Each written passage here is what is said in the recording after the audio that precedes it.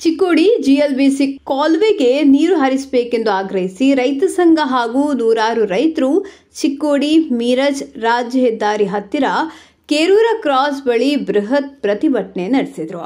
ಚಿಕ್ಕೋಡಿ ಮೀರಜ್ ರಾಜ್ಯ ಹೆದ್ದಾರಿ ಬಂದ್ ಮಾಡಲು ಯತ್ನಿಸಿದ ರೈತರನ್ನು ಪೊಲೀಸರು ತಡೆ ಹಿಡಿದರು. ಕಾಲುವೆಗೆ ನೀರು ಹರಿಸದೇ ಇರುವ ಅಧಿಕಾರಿಗಳನ್ನು ರೈತರು ತರಾಟೆಗೆ ತೆಗೆದುಕೊಂಡು ಸರ್ಕಾರದ ವಿರುದ್ಧ ಆಕ್ರೋಶ ವ್ಯಕ್ತಪಡಿಸಿದರು.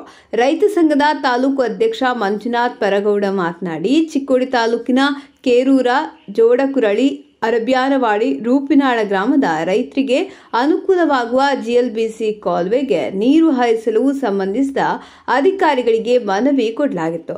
ಆದರೂ ಕಾಲುವೆಗೆ ನೀರು ಹರಿಯದೇ ಇರುವ ಕಾರಣ ರೈತರು ಪ್ರತಿಭಟನೆಗೆ ಇಳಿದಿದ್ದಾರೆ. ನೀರು ಬಿಡುವ ತನಕ ಪ್ರತಿಭಟನೆ ಹಿಂದಕ್ಕೆ ಪಡೆಯುವುದಿಲ್ಲ ಎಂದು ಹೇಳಿದರು. ನೀರಾವರಿ ಇಲಾಖೆ ಅಧಿಕಾರಿ ನಾಗೇಶ್ ಕೋಲಕಾರ ಮಾತನಾಡಿ, ನೀರಾವರಿ ಸಲಹಾ ಸಮಿತಿ ಇದೆ. ಬೇಡಿಕೆ ಅನುಗುಣವಾಗಿ ನೀರು ಬಿಡಲು ಆದೇಶ ಮಾಡ್ತಾರೆ. ಬರಗಾಲ ಇರುವುದರಿಂದ ವ್ಯತ್ಯಾಸ ಆಗಿದೆ. ಸಲಹಾ ಸಮಿತಿ ಒಪ್ಪಿಗೆ ಕೊಟ್ಟರೆ ಇವತ್ತೇ ನೀರು ತರ್ತೇನೆ. ಕಿನಾಲ್ ಸ್ವಚ್ಛತೆ ಮಾಡಿ ನೀರು ತರಲಾಗ್ತದೆ. ಜಿ ಎಲ್ ಬಿ ಸಿ ಕಾಲುವೆಗೆ ನೀರು ಬಿಟ್ಟರೆ ಎಂಟು ದಿನಗಳ ಒಳಗಾಗಿ ಕೇರೂರ ಗ್ರಾಮಕ್ಕೆ ನೀರು ತರ್ತೇನೆ. ಇವಾಗ ಪ್ರತಿಭಟನೆ ಕೈ ಬಿಡಬೇಕೆಂದು ಮನವಿ ಮಾಡಿದರು.